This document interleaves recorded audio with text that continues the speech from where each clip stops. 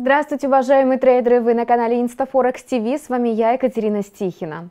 После оглашения итогов референдума в Великобритании рынок приходил в себя, но уже сегодня ситуация повторяется. Фондовые индексы встретили начало новой торговой недели в красной зоне. Инвесторы вновь проявляют беспокойство и предпочитают безопасные активы. Причин несколько.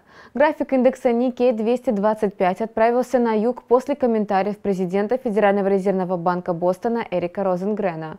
Котировка потеряла более 1,7%. Согласно комментариям американского чиновника, экономика США вполне готова к постепенному повышению процентной ставки. Рынки буквально лихорадят в ожидании заседания ФРС, которое состоится уже на следующей неделе.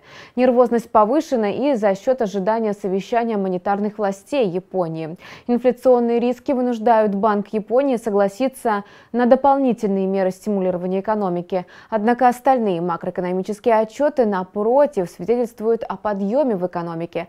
Помимо подъема ВВП, сегодня стало известно о неожиданном росте объема заказов в машиностроении.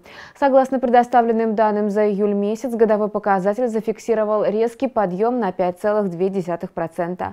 Аналитики ожидали более инертного роста лишь на 0,3%. Данные отразились на динамике национальной валюты. Иена в паре с американским долларом выросла, котировка опустилась к отметке 102.20. Опять же, участники рынка обеспокоены и возобновившейся политической неопределенностью в Соединенных Штатах. Болезнь одного из претендентов на пост президента страны, Хиллари Клинтон, повышает вероятность победы на выборах Дональда Трампа. Торгуйте, зарабатывайте вместе с компанией Instaforex. Мы с вами увидимся через пару часов. До встречи.